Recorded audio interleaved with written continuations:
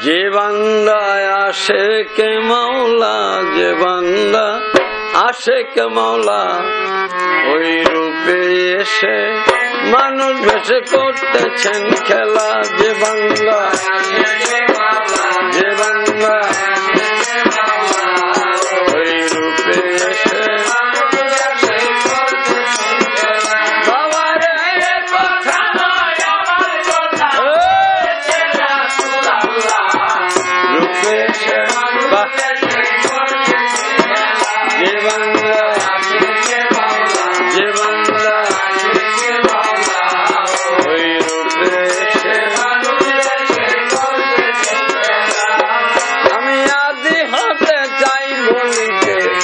আতার ঘটনা আতার তিহুতুর ভাগে বিভক্ত করেন রব্বানা একে একে ডেকে ডেকে করেন জিজ্ঞাসা, আমি দুনিয়ায় পাঠাইব, বিদায় কার কেমন আশা?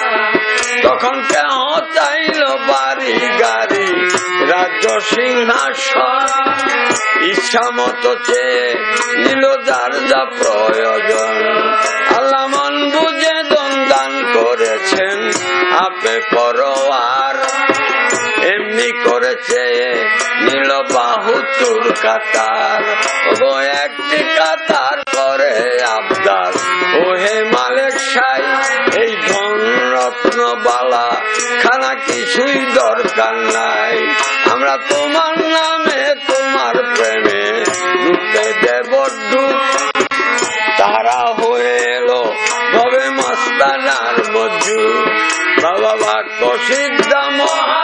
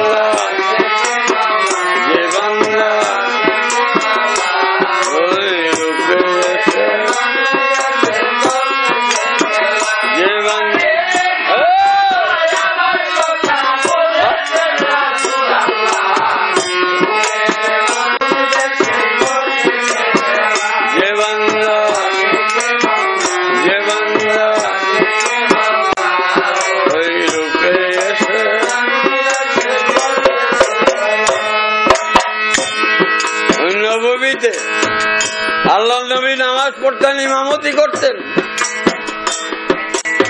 তার পাশে একটা রুম ছিল, সেখানে কিছু লোক বসে থাকতো নামাজ টামাজ পড়তো না, তাদেরকে বলা হতো, আসাবে সব্বা। তাদেরকে তো খাওয়ান দাওয়ান, ভরণ পোষণ আল্লাহ নবী বন্ধ করে দেয়নি বাবারা।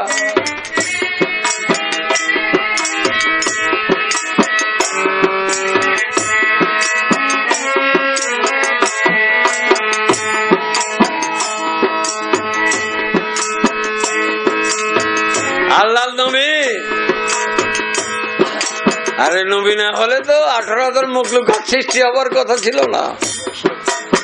তার উন্মত হয়ে আপনারা কি বলেন বাবারা? ওই আসাবে সভ্যরা তো নামাজের সময় নামাজে যেত না। তাদেরকে আল্লাহ নবী তাড়িয়ে দেয় নাই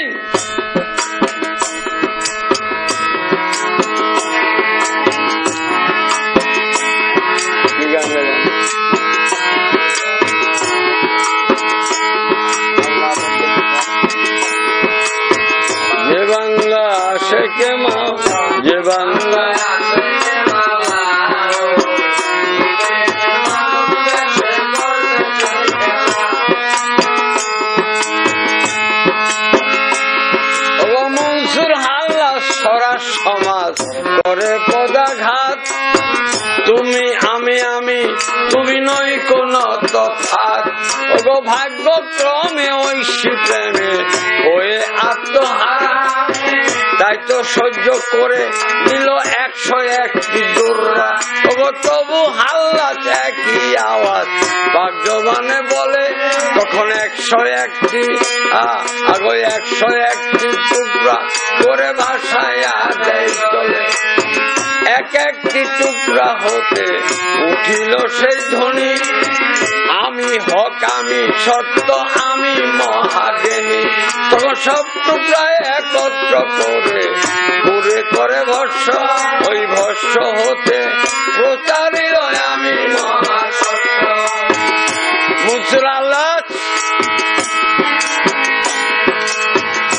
যখন আইনাল হবে বলল যে আমি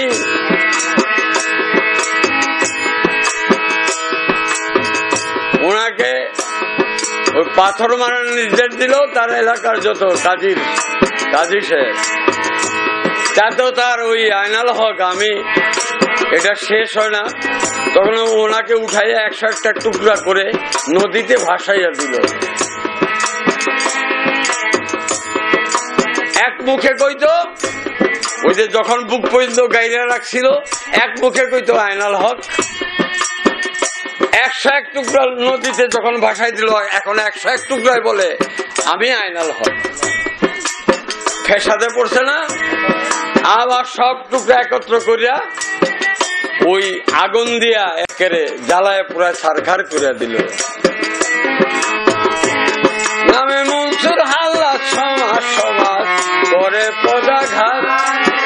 তুমি, আমি আমি, তুমি নই কোন ওগো ভাগ্যক্রমে ওই প্রেমে হয়ে আত্মহার, তাই তো সহ্য করে নিল একশো একটি দৌড়া তবু হাল্লা কি আওয়াজ?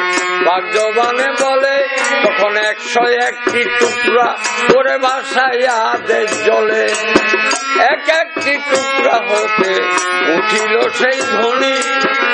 আমি হক, আমি সত্য, আমি মহাজ্ঞানী। তখন সব টুকরায় একত্র করে, পুরে করে ভস্য, ওই ভস্য হতে প্রচারিল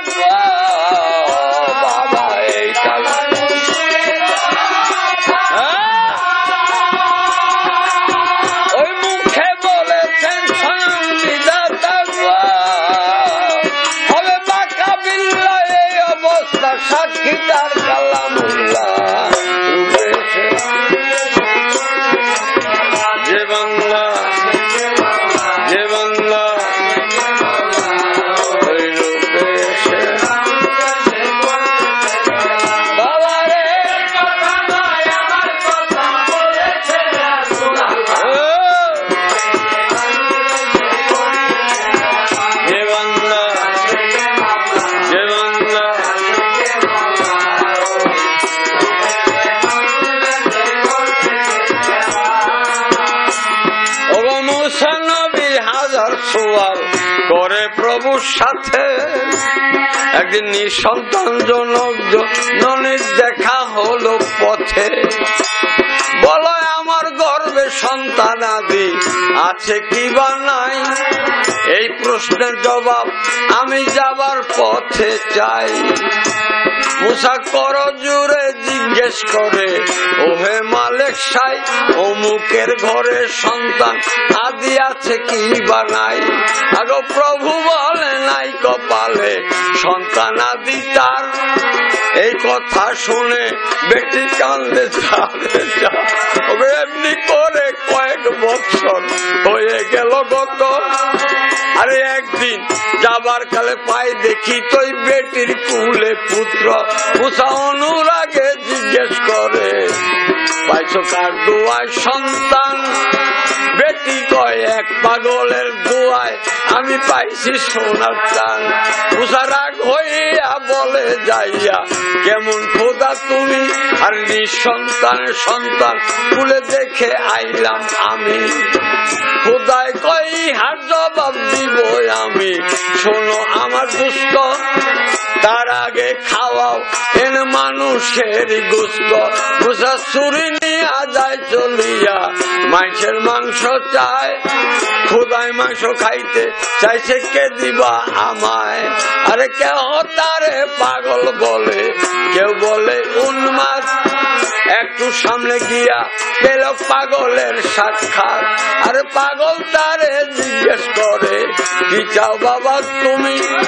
মুসা কয়, মাংসের মাংস খাইতে চাইছে জগৎ বিশ্বের স্বামী। পাগল চুরি নিয়া দেয় কাটিয়া, যতটুক দরকার মুসা মাংস নিয়া হাজির হইল দরবারে খোদার। খোদায় বারে বারে জিজ্ঞেস করে, শোনো মুসা, শোনো, আরে কে তোমায় খাওয়া? আরে কে তোমায় দিয়াছে মাংস? দেরি হইল কেন? তখন সমস্ত ঘটনা মুসা বলছে, খুলে খুলে, আরে কেউ তোমায় দিল না, মাংস দিল এক পাগলে। খোদায় কত প্রাণ দিয়ে আমায় ভালোবাসে। এত করে মহাব্বত আমি তার কোথায় ওই সন্তান দিয়া তার রেখে তারা মাওলা রেসকে ভাঙা হ্যাঁ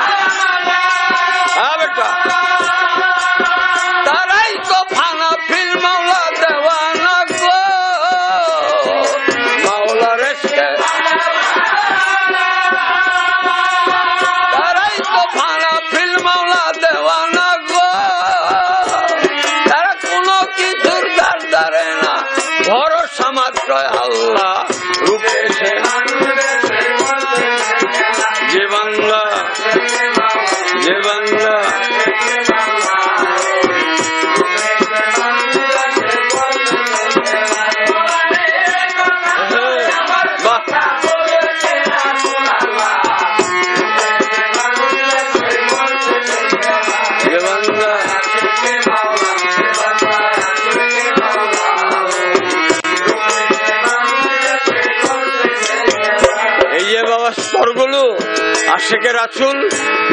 আনাফিল্লা বা কাবিল্লা স্তর। অস্বীকার করার কায়দা নাই। কোন কায়দা নাই বাবা।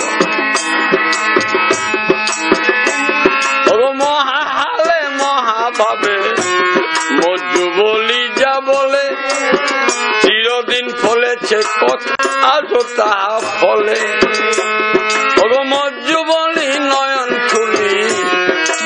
কারও পানে যায়, অনন্ত ধনের ধনী করেছেন খোদায় আগো পবিত্র জবানে।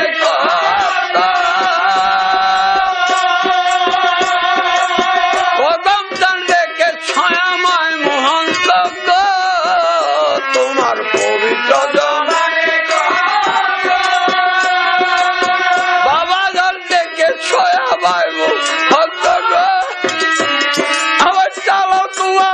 সামান্য দয়াময় মুর্শিদ বাবলা মানুষ